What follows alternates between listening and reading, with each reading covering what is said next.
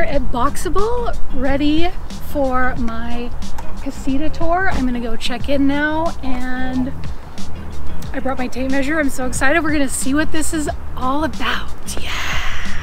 While I sign in for my tour and swear not to sell any trade secrets I might see, I'm gonna catch everybody up. Boxabls are factory built modular buildings that have use cases for disaster relief and military applications as well as homes. Boxabl is a new startup and they're currently only offering the Casita model, which is a 20 by 20 foot tiny home with all appliances included for $50,000. The folding design of Boxabls allow them to be folded to a width of 8.5 feet for shipping, which allows them to avoid the oversized shipping costs. I reserved a casita in November 2020 and plan to buy multiple units for an outdoor recreation retreat, which is the reason for the land search on my vlog channel. We'll now head into the factory with Alexis to learn about the building process and materials.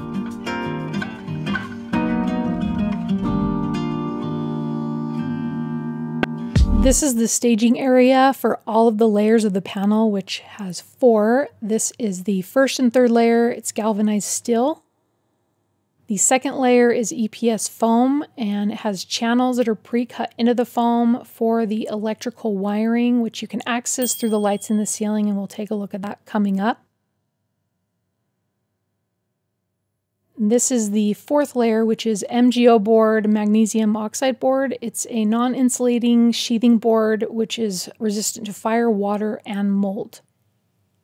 This is the framing for the perimeter of the panels. The wood isn't exposed and it's the only place wood is used. We'll take a look at what the framing looks like coming up. Here are the robotic arms with a suction that are not fully automated yet. Currently, they use them to place all the panels together with the suction and this is a look at what the automated system will look like. After the robotic arms, they are sent to this vacuum lamination system, similar to a vacuum sealed bag idea, but it creates 72 tons of pressure. The panels are connected using a hinged steel beam, and to either side of the hinge, you can see some black strips. These are the gussets that create an airtight seal when panels are connected together. This is the gussets and what it looks like when they're connected together, creating that airtight seal. The ceiling and floor panels are 8 inches thick and the wall panels are 6 inches thick. After all the layers are laminated together, they are placed on these wheeled easels to be sanded in this white booth. After they're sanded, they're then painted in this paint booth. The next stage is assembly for all the cabinets, doors, flooring, and windows. In the back there, you can see a casita with some of the kitchen assembled.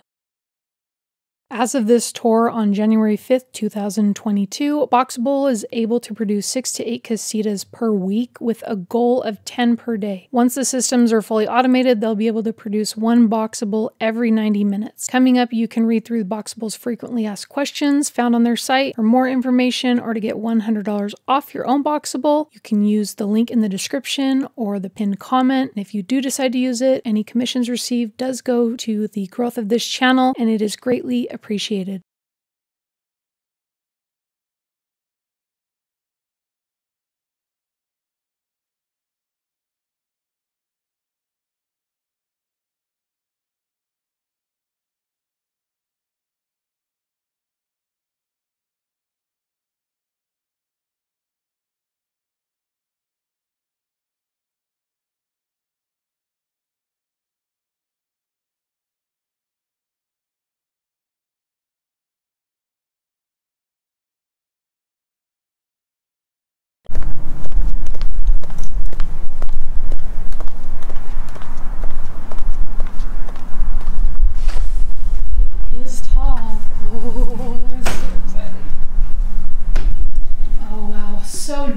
Being in here versus on videos, you know? Mm-hmm. Wow. It feels, it feels sturdy. Like, yeah. So nice. Really bright lights. That's cool. You can see here, these are the lights that have an additional cover you would pop off to access the channels within the foam to add any of your own wiring for any electronics. Basically, we give you everything that will fit into the eight and a half foot box that it has to fold up to. So what that means is everything over here, besides the decor and the chairs, is included. Everything over here, including this divider piece, is not included. Right. This all extra, has right? to be empty, yeah. Um, so that it can fold down right there. Okay. And so if you wanted to purchase these separately, it would be an additional charge and it would ship separately as well. Mm. Because it doesn't fit in hmm when you fold it. Right. Oh, okay. That makes sense. I wondered why that was extra, so that makes a lot of sense. And then so that wall won't be there. That'll Mhm. be that'll look more like the picture right behind us. It has the wall with the two windows. Okay. And then where the sticker is, you cut that out and that's basically your that's where your front door will be. Oh. And then that's your back door that we walked in. So you oh, walk so there in will be two doors. Mhm. You'll walk into your living space, not your sleeping space. Yeah. I love this. I'm so excited. Yeah, feel free to take a look around, open things up, and Yeah. I mean, I brought my measuring tape. too. Okay. I'm like a Home Depot dad. I love it. I love it. yeah. Like my husband. This is so wow. These appliances, yeah, the tiny homes that I've been in, like that I was at. Look, look at how big this appliance is. Whirlpool is. Are these the fridges that are gonna? So we're not something brand similar? loyal yet. Okay. So depending, Yeah. especially with the supply chain being how it is, um, Right. we'll see what we end up using. But they will be It'll full be size, full right? size and high quality. And the eight foot mark is. So oh, the fridge probably has to come in here. You are smart. Yep. So Okay. basically, the fridge will come in here. This uh, will fold down, and then your washer dryer gets placed in the bathroom because this is where your floor folds. That big panel we saw. This is it right there. Oh. Okay. So that folds up. So basically, Yeah. your walls fold in, this folds down, this floor folds up, and your ceiling folds in thirds. It feels so. I love the tall ceilings. Nine feet, right? Nine and a half. Nine and a half. Makes a huge difference. Oh gosh, it so does. Yeah, you can absolutely live here. Like, look at all of this cabinet space. You gotta check out the size of the shower too. Oh man, I will. Wow, I, I there's just so much. This is a weird microwave. It's a little bit smaller. It, it, yeah, it's just it looks so weird with that big thing up there, and then these. That's cool. Oh my gosh. So a decent size little stove. Mm-hmm. I mean, look at all of this space. I wonder, are these? Do, do you guys get your kitchens from IKEA? I mean, it, I like IKEA. I'm not. It is not. It is. Oh, We okay. sourced it from somewhere else. And a full size dishwasher. No one wants to do dishes every other day. I mean, this counter space, just tons of counter space. And then I thought this opened for some like brooms or something. I, So yeah, this is your designer closet. It would be available for purchase separately. with designer clothes. Yeah, I wondered about that. This the closet space. I would almost think to get one of those tall IKEA ones. You know? Yeah, yeah. Love the full extension drawers and these are really good sizes. Does this that maybe opens up on the other side? I don't think that opens up. Oh, at all. I'm sure they're working on a better use of space on this. So a washer dryer combo. I have some rental properties and I have one one with a washer dryer combo. This one is a lot bigger than what I have Okay. from when I used to live in it. Like I was like, well, they're a step up from a laundromat. But this looks nice. This is big. It takes so long to dry. So really tall doors. Are these doors like eight feet probably? Mm-hmm.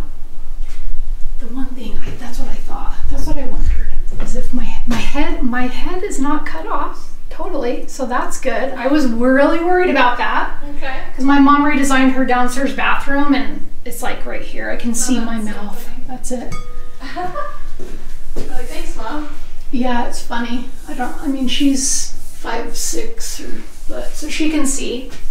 So these are gonna be shower inserts. So that's one of the things with the Generation 1 versus Generation 2. It's not a finalized plan yet of whether it will just be the shower or the shower tub combo. Okay. So we'll have to wait to see when release Yeah. Yeah, this bathroom is giant. It's huge. It's huge. I guess we could probably redo the sink if we don't like the sink. Not a fan of the, the bowl on top. No, I, I can't believe that's still a thing. Maybe it is. Tons of, and then oh, and then you can put a little garbage can or laundry bin right there. Well, your your washer dryer. This would just be your laundry folder. Oh. So what are we looking like? Are you you're not going to know that information like at the end of 2022, 2023 So- maybe? Yeah, it just it just depends. So we're hoping to start production for the public middle to end of this year. But Okay. we do have a fairly large wait list, and so that's where we'll work, start working. Are am I able to see where I am on the wait list? No. Mm-mm. I wondered that. Like when did the wait list start? I believe it was in 2019. Oh man, I thought I was kind of early with being November-ish 2020. Not I have so to much. verify that. I don't know that for certain, but that's when we went to our first show. I think that's when we started doing those. So it gives me time to find land, Mm-hmm. to wait for some to come up and Yeah. figure out the also have to do a utilities and and yep, all yeah. that. Yeah, exactly. Who's this guy? I don't. No idea. He's talking to me. Just a moment. He was asking if. Oh, does he have an appointment next? Maybe. Uh, no, you're good. Okay. I love it. This is so cool. Let me just see what you want. Okay. I'm gonna take some measurements.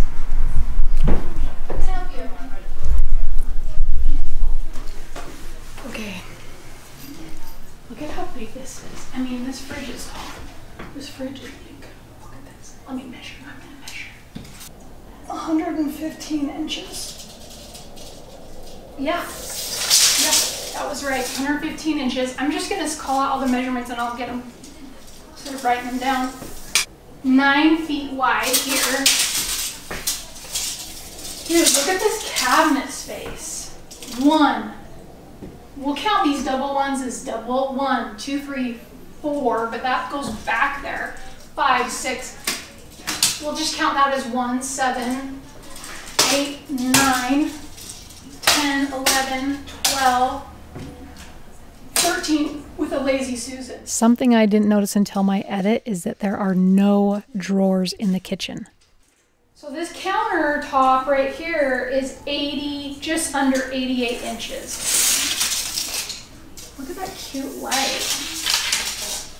Yeah, I mean, this is what that tiny home didn't have. 48 inches long here. It's 23 and a half inches.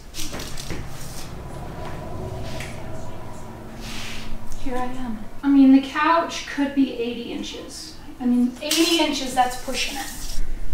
Oh, I'm so glad I got the opportunity to see this and uh, take measurements Look and. at the hookups outside as well. Oh, perfect. Okay, let's do that. You have your electrical box. It's a 200 amp box. Your water heater and your AC unit. Okay, yeah, on demand, huh? These gutters. Oh no, this is for electrical. Oh, so yeah, gutters. I mean, people would have to put gutters in. And then your water hookups, this unit doesn't have it on them, but basically you'll have a pipe for your sewage and then a pipe for your clean water and a pipe for your gray water as well. And it will be it will be some here somewhere here. It won't go underneath just so that you don't ever have to get underneath the house. Okay. So they run all the plumbing behind the cabinets. Yep, so they're stackable up to three high. Yeah. We don't necessarily recommend stacking the casita just because there's no spot on the inside to put stairs. Yeah. But you totally could do exterior stairs if you wanted to. Right. Okay. Very cool. Is that? I guess that's probably everything. I've seen everything, huh? Okay. I just want to thank Alexis for letting me tour this and film and being a good sport and letting me film her. So my channel is Rachel in real life if you want to see it'll be a minute before I get this posted, but yeah, thank you so much, Alexis. I can't wait until I can buy one, and we'll see you later. I do have a little souvenir you.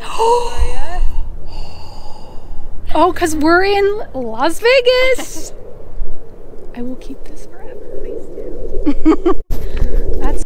I just finished my tour at Boxabl, looking at the Gen 1, Generation 1 casita. They're going to be coming out with a Generation 2 because this was hand built and now that they have a factory, they're going to be adjusting some things, but I am utterly impressed.